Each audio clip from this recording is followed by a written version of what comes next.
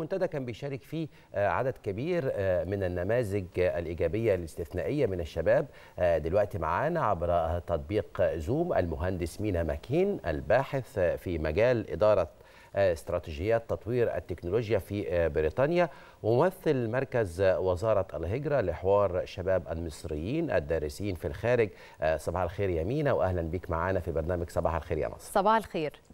صباح النور. عايزين في البداية يعني نعرف ونتكلم عن تجربة حضورك في النسخة الرابعة من منتدى شباب العالم وإيه أبرز المحطات اللي وقفت عندها وبرضه استفدت منها.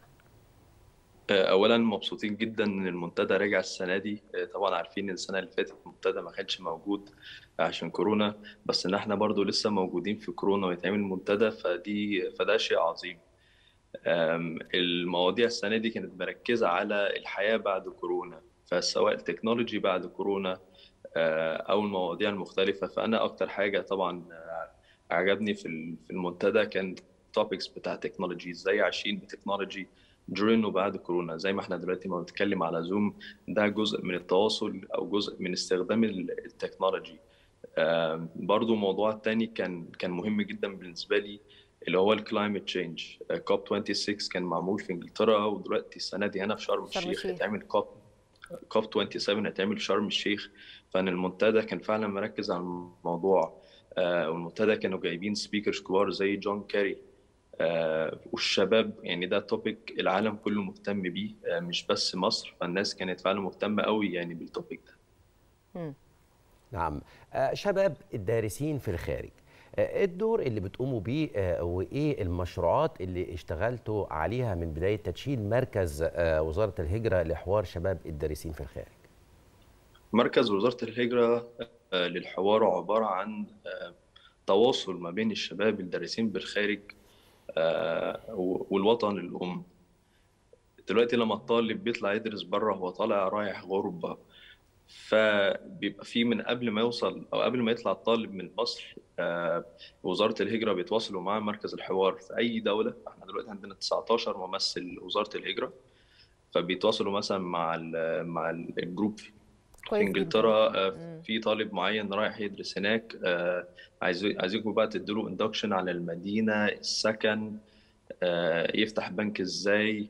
برضه لو الطالب عنده أي مشكلة أو اقتراح فهو بيتكلم معانا فإحنا بنتكلم مع مع الوزارة. فدور المركز دور مهم جدا إنه فتح تواصل ما بين الدولة المصرية والشباب اللي بيدرسوا بالخارج.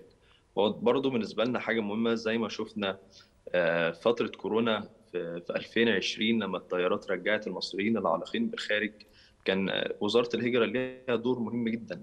في التواصل مع الشباب اللي بره. فطبعا كانت كل الأجهزة ساعتها stressed stressed شوية. فمن خلال مركز الحوار الوزارة كانت بتتواصل مع كل الشباب. ولو أي شاب كان عنده أي استفسار كان بيبعت لنا وإحنا بنبعت على طول للوزارة. إيه اللي عملناه في السنتين من ساعة أو سنة وشوية من ساعة مركز الحوار؟ في هنا في مصر طبعا في رحلات كتيرة بتتعمل لما الشباب بيجوا هنا في الأجازة. فاحنا طبعا لازم نوري الشباب إيه هي مصر بجد. يعني بره في كلام كتير جدا بيتقال غلط عن مصر ولازم إن إحنا كشباب نشوف بنفسنا عشان هي فكرة قوة النعمة القوة الناعمة.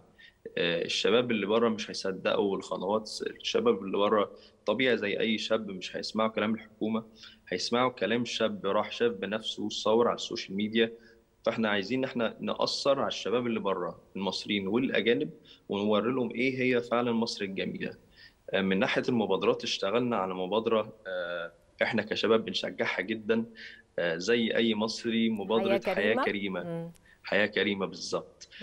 آه اللي هو طيب يعني خلينا طيب نتكلم عن دور المركز في آه المبادرة الرئاسيه حياة كريمة وازاي قدر إنه يدعم آه الشباب الدارسين في الخارج ويدعم هذه المبادرة.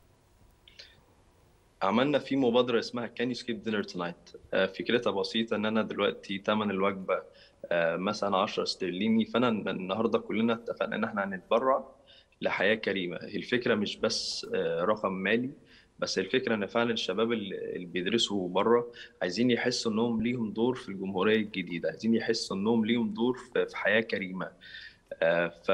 فعن خلال المبادرة دي الناس بدأت تحس وتفهم يعني معالي الوزيرة السفيرة نبيلة مكرم عملت لقاء مع الشباب اللي بره في كل يعني في البلاد المختلفة عن فكرة حياة كريمة. إيه حياة كريمة؟ إزاي نقدر إن إحنا نبقى جزء من من المبادرة؟